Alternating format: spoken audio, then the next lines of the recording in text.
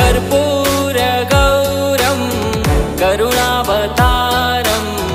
संसारसारं भुजगेन्द्रहारम्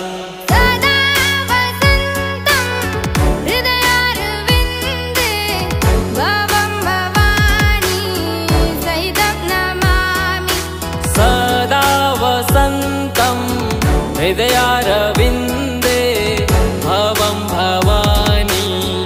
say tâm nam